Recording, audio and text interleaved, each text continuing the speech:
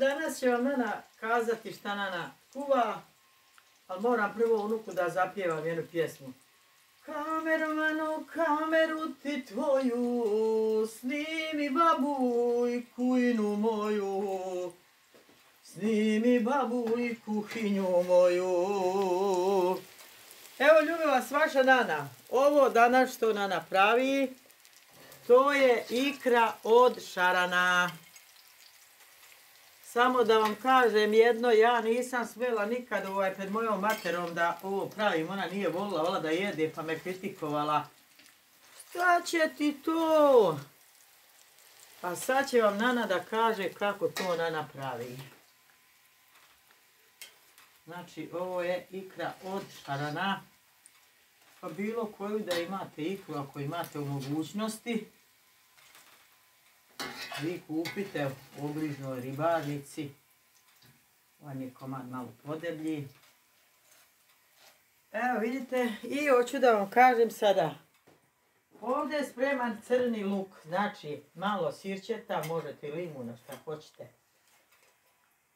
Maslinovog ulja. Evo vidite. Soli. A ovo, ovo je kukuruzno brašno. Evo Nana, vidite kako ovo radi, sad moram da vam objasnim.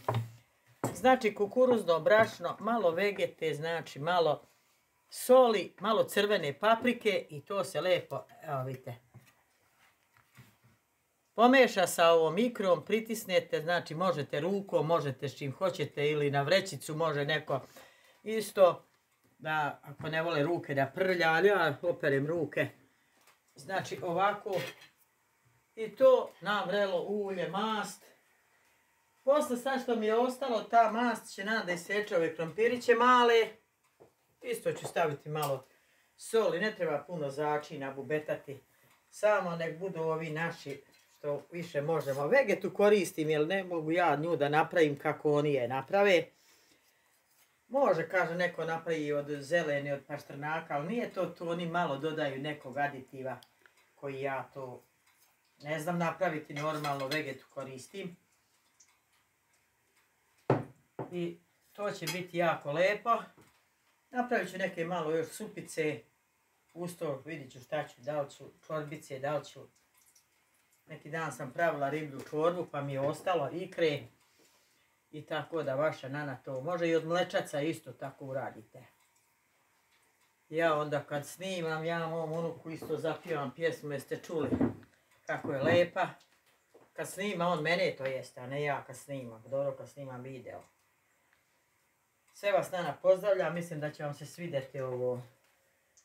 Možda deluje, malo mi je mračno, ovo je žuto lepo, a ne znam, malo mi je u kuhinji mračno. Mislim da jako lepo izgleda. Idem sad i ovo drugo da stavim. Pozdravlja vas vaša Nanki iz Naninog seljačkog restorana, ja to zovem restoran. Eto ga. Idemo dalje još i ovo da stavim.